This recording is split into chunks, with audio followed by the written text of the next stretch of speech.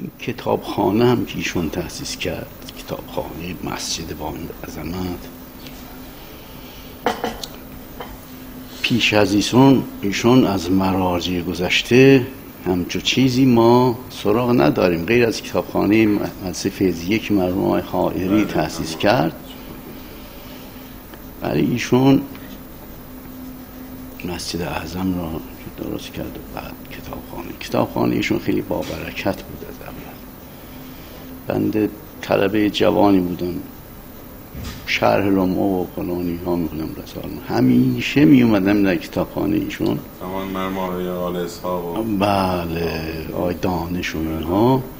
اون شخص اسمش آی آل صاحب بله کتابداری که اینجا مشهور آره خیلی مهربان بود اون آی آل صاحب اسمش که آل صاحب باشه. که بعد رفت کتابخانه آی نجفی. عجیب کتاب شناس بود. یعنی راهنمایی می‌کرد. گفت شما که فلان رو گفتید فلان کتابم هست. می‌رفت می آورد حتی من بارها شده بود که در آن سالن مطالعه که روی رودخونه بود. کتابی گرفتم. بردم اونجا نشستم مطالعه می‌کنم. می‌بینم یک کتاب دیگه ایشون آورد گفت اینم هست. مثلا اینا نمی‌دونم یک کتاب کتاب این کار رو می‌کنه یا نمی‌کنه. خیلی اینجوری بود ایشون.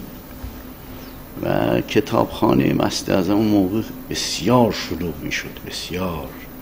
عرض کردم اونجا این صندلی ها و اینا که پر می‌شد صندلی ها اضافی بود این کنارها. می اومدن همونطور دستش رو مطالعه می‌کنه اینجا از نظر اهمیت در حوزه علمی دومین کتابخانه. من اول مدرسه فیضیه بود بعد اینجا. که بعدها اینجا اهمیتش بیشتر از اونجا شد. خیلی ساده راحت.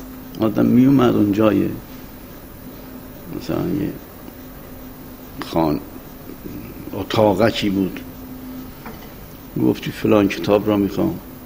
اکثرا کتاب های درسی و کتاب های معروف بود. اون کتابدارها مخصوصا اون آقایی که بارها ازش یاد کردیم می‌دونستن جاشو لازم نبود بنویسی قفسه فلان فلان.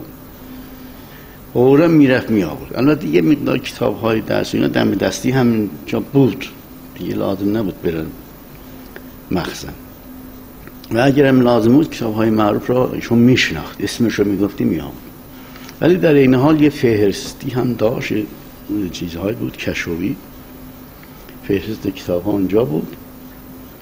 با نشانی اونها در کدوم طبقه کدوم قفسه می نوشتی ظاهرا سه تا کتاب بیشترم نمی‌تونستی بنویسی در یک دفعه. می آوردم می دادم خیلی راحت. اصلا هیچ تشریفاتی فلانی نبود. یه سالن داشت. بعدم یه سال دیگه هم اضافه شد دو تا شد. یکی این بره اون جایگاه مخصوص که کتابونه یکی اون برش باریک بود دراز. بله اونجا طلبه ها می اومدن مطالعه می کردن. خیلی واقعا صفایی داشت اونجا.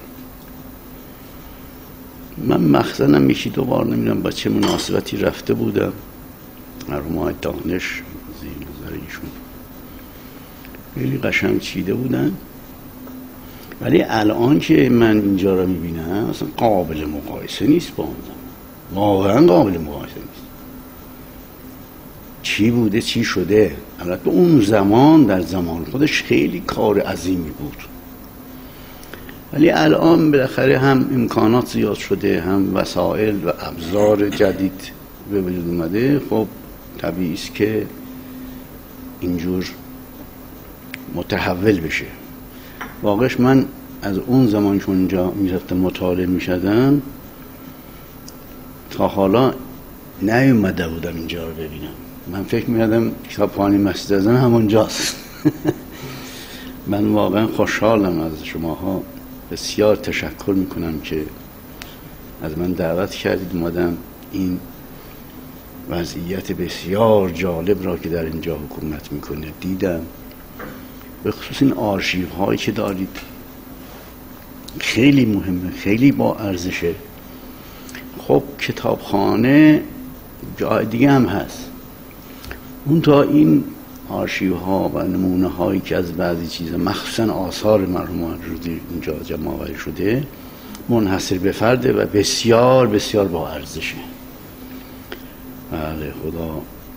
خیر بده به کسانی که اینجا کار کردن بانی شدن کمک کردن. آبروی است برای حوزه علمیه همونطور که کتابخانه نجفی هم همین طول است. من اونجا هم زیاد مطالعه کردم. من اون موقع به آجا محمود یکی دو بار پیشنهاد کردم. آقا این که ما میایم یه کتاب را می نویسیم مثلا الاغانی جلد فلان میره بالا یا طول هم می‌کشه. اونی که می‌خواستی این جلد نبوده یه جلد دیگه دوباره خیلی اذیت می‌شد خیلی. گفتم که شما شنیدم در تهران بعضی کتابخانه ها قفسه باز دارند یعنی یه جاییست همه هم نمی‌تونم بگم باید کارت داشته باشی. معلوم باشه که این آدم محقق مثلا. بره خودش بره کتاب رو برداره اینو بذار اونجا اینو برداره. همچه چیزی باشه. ایشون گفت که فعلا نمی‌تونیم ولی در فکرش هستیم. ولی بعدها کار کردن ما محدود. الان من خیلی وقت اونجا هم نمیرم و الانشو نمیگم مثلا مال ده سال پیش رو میگم. من اولین بار قفسه باز رو در مشهد دیدم. در اون بمبارون ها ما رفتیم مشهد یه هفتش ماهی اونجا موندیم کتابخانه آستان قدس یه قفسه باز داشت. عجب جایی بود. من اصلا خیلی ابتهاج بیندم به این همه کتاب در اختیار منه هر کدوم رو خواسته. برمی داشتیم یا آوردیم پنج تا ده تا کتاب اینجا میخوندیم موقع رفتن هم باید همینجا میموند. خودشون میذاشتن سر جاش که قاطی پاتی نشه. لازم نیست تو شما برید بذارید. من اونجا خیلی واقعا استفاده کردم از اون قفسه بود مدیر کتابخانه کسی بود به نام آدم رفت. شاکری؟ شاید شاکری. یه روز رفتم پیشیشون تشکر کردم از این برنامه قفسه. خندید گفت که اگه بدونید چقدر من حمله کردم. چرا این کار خوبی؟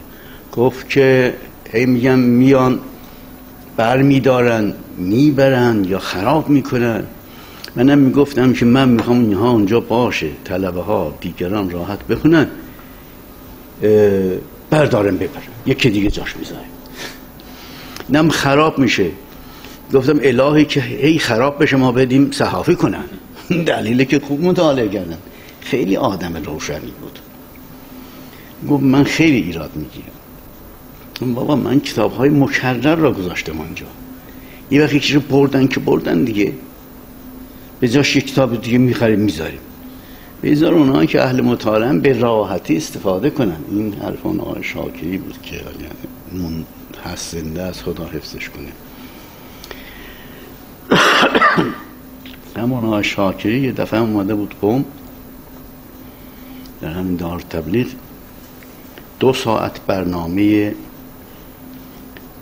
کتابداری برای طلبه های اونجا تدریس کرد. اطلاعات زی قیمتی داد طبقه مندی های مختلف دیویی فلان. و هر صورت من از این سه کتابخانه خیلی استفاده کردم. کتابخانه آستان قدس و خانه های نجفی و کتابخانه اینجا. و من مدیون این کتابخانه ها هستم. انشاءالله من یه دوره تفسیر کوسر که یازده جلدش چاپ شده جلد دوازدهمون که آخرین جلدشه زیر چاپه. حتی یه ماه دیگه از چاپ میاد. یه دور انشاءالله کتاب از اینا میفرستم می‌ذارید تو همین قفسه بازتون. یه وقت کسی بردم.